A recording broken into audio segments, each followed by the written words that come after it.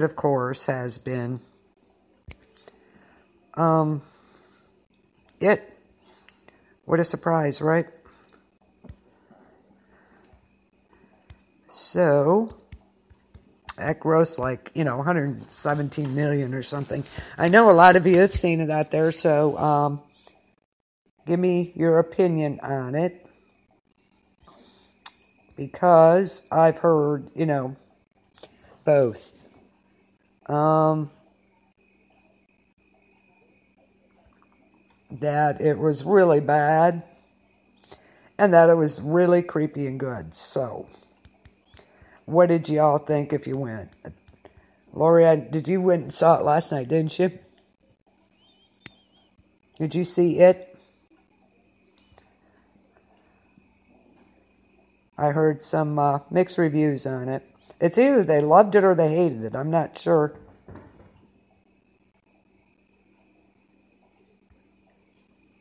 Um, there was no really in between. There was no. Um,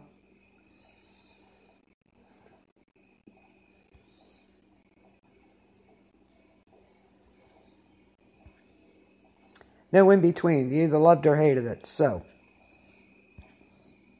tell me what you thought. Okay, another. Uh,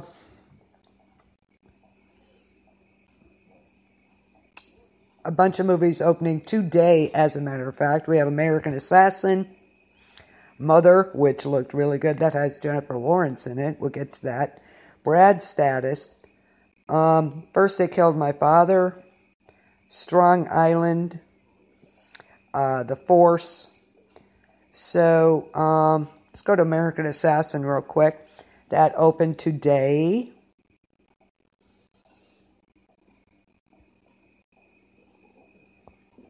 see what they have to say about it.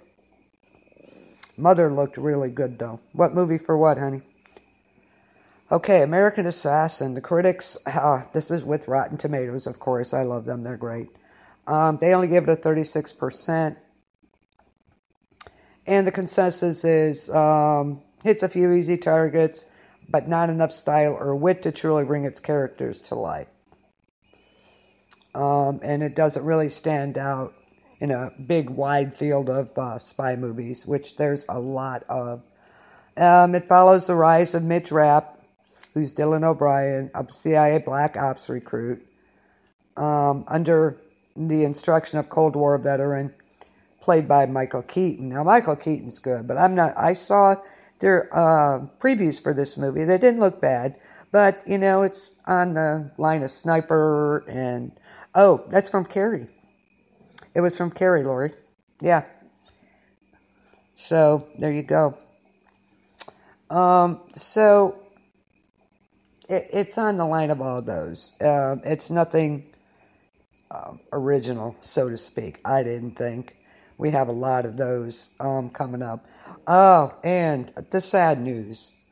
Um, why they're gonna they're talking about remaking Jaws. Are you kidding me? Leave these movies alone, okay? Freaking crazy. Yeah, he does look good. Michael Keaton does look good. Yeah, he does. Um, but they they want to remake Jaws. Really, come up with some original ideas, guys. Quit fooling with the um, classics, okay? That is a classic. Um, what did you think of it, Lori? Let me know. My daughter saw it. She said, uh, Pennywise is creepy as all get out. Um, there were some changes, but uh, she said, of course, uh, de- uh, devil's in the details. But again, um, it was kind of updated. They're kids in the 80s instead of adults. So, um, but I'm hopefully going to see it Wednesday. I'm not off till then. So that's why um, what does mother remind you of? Oh, I don't know. Um, anyway, it's 70% with Rotten Tomatoes. Good, good, good. Yeah, you liked it. I thought you did. Um, critics with Mother. Um, it's thought-provoking product of an ambitious artistic vision. Uh, although mainstream, you know, maybe not uh, mainstream enough for some people. Uh, yeah, well, no, Of, of course not. I didn't think it would be like the book, though. Um, okay, a couple's. This is Mother. Jennifer Lawrence, um, Javier Bardem, Ed Harris. Love Ed Harris, of course. Michelle Pfeiffer, Pfeiffer, Brian Gleeson. Good names in this one. Um, it's a couple's relationship is tested when uninvited guests arrive at their home, disrupting their existence. Um, that's a interesting. Uh, yeah, Rosemary's Baby. Yeah, exactly.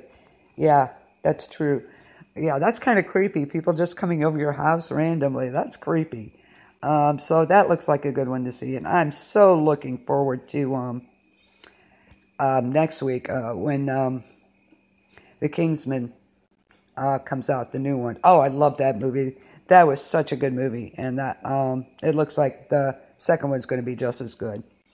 So, Brad Status, that's a new one that came out today. Um, we'll get to it right away. Talk a little about that. There's a bunch of them that are coming out. Next week looks really good for movies. This week, um, not so much. Brad Status, although Rotten Tomatoes gives it 82%. Um, and the critics say it transcends its familiar premise with insightful observations and affecting interplay between Ben Stiller and Austin Abrams. Um, and the movie's about when Brad Sloan, Ben Stiller, accompanies his college bound son to the East Coast. The visit triggers a crisis of confidence in Brad's status.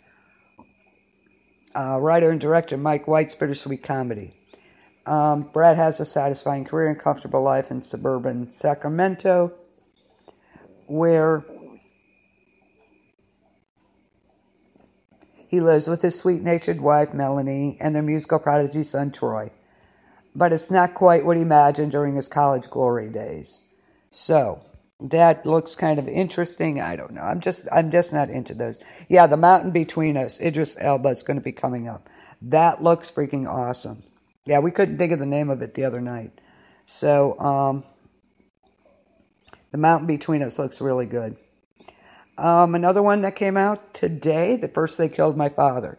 Now, Rotten Tomatoes gives that an 88%. So, interesting. Yeah, um, The Mountain Between Us, Idris Elba. So, that looked really, really good. So, we shall see what they come up with with that. The previews look fantastic for that. So, um, again, Rotten Tomatoes gives First They Killed My Father 88%. Um, critics haven't uh, said anything about it yet. Um, Angelina Jolie directed this movie about a human rights activist and her attempts to survive during the oppressive Khmer Rouge era of rule in Cambodia.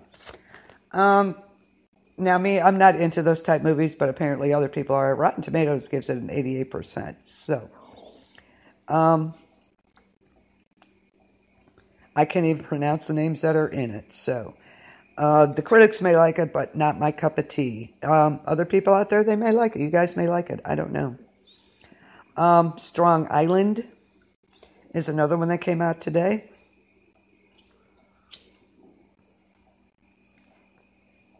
And Rotten Tomatoes gives this one a 100%, guys.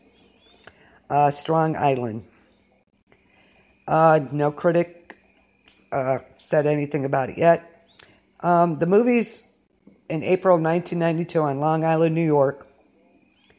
William Jr., the Ford's eldest son, a black 24 year old teacher, was killed by Mark Riley, a white 19 year old mechanic.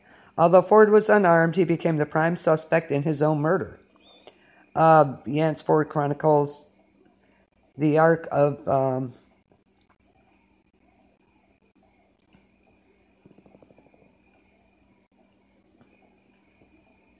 of his family across history, geography, and tragedy.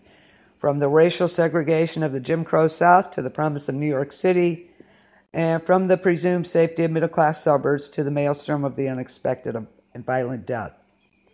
It's the story of the Ford family and their children how their lives were shaped by the enduring shadow of racism in America. Okay, that's Strong Island. Um, yeah, I'm sure it has a good message for it. I don't know about the timing of it coming out. I don't know. That's me. Um, there's a couple other ones coming out. I'm just going to name a few others because uh, most of them I have not seen anything on. I don't know. I don't know. Um, we have woodpeckers. um, let's see. Uh, Rotten Tomatoes gives it a 78%. So, and no critic thing. And this is about love can spring up in the most unlikely places. And the new film Woodpeckers tells one such tale of illicit and slow boil attraction. Okay. I don't know about that. I, some of these movies, you know, it's like, please come up with something new. No, I didn't think it was good timing for Strong Island. So, uh, Rat Film. That's another one that came out today. Um, Rotten Tomatoes gets it 94%. So, yeah, I'm not going to be on a whole lot long so Chris can get on. You know, working late, this is what happens. So, uh, Rat Film. Rotten Tomatoes gives it 94%. No critic commentary yet. Uh, the movie's about across walls, fences, and alleys. Rats not only expose our boundaries of separation, but make homes in them. Rat Film is a feature length documentary that uses the rat, as well as the humans that love them, live with them, and kill them. Okay. Um, to explore the history of Baltimore. There's never been a rat problem in Baltimore. It's always been a people problem. I don't know if I wanted. I would want to see a movie about a documentary about rats. No, thank you. Why would? Um, I don't know. So, not some real good films out this week. Uh, Mother looks good.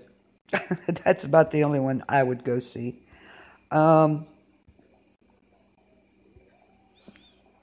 So, uh, you know, take your choice on that. You know, that's up to your tastes and such. But, um, I, um, not a good list, uh, I don't think, but that's me. Okay. The top box, box office movies. Um, actually, the, I wanted to talk about, uh, bring one up Hitman's Bodyguard. Let look really good uh, with um, Samuel Jackson and um, Ryan Reynolds. That looked really good. I'd like to see that. Okay. It, of course, was number one. And it's number one this week also. Yeah, no, thank you. Me either. No, I don't want to see a movie documentary about rats. Thanks. Um, it is number one for two weeks. Woohoo! Um, so, what does that tell you? Absolutely. Home again. That's the one with Reese Witherspoon. That's number two. Again, I just talked about Hitman's Bodyguard. It was number one last week, or um, yeah, and it's number three this week. Hitman's Bodyguard. That is with Samuel Jackson and Ryan Reynolds, and it looks fantastic. Annabelle Creation, um, number four, and I really like to see that. Did you see that, Lori? Annabelle Creation? Anybody see it? I want to see that. Um, number five, Wind River. Number six is Leap. And Leap, I did write some info about that down. Leap. Uh, critics, um, it say it's a bland story, um, unremarkable animation, does little to distinguish itself from a long list of like-minded movies friendly, family friendly alternative movies. It's about 11 year old orphan. Um, Felicia has one dream to go to Paris and become a dancer. And her best friend, her best friend Victor, he's an imaginative but exhausting boy with a dream of his own to become a famous inventor. In a leap of faith, they leave their orphanage and pursue their passions. And they're saying, no, not, not that great, okay? Um, in the world of animation that it's not really up to standards, okay? Uh, number seven is Spider Man Homecoming. Okay, it was seven last week also, so yeah. Um, Dunkirk. Now that's been out for eight weeks,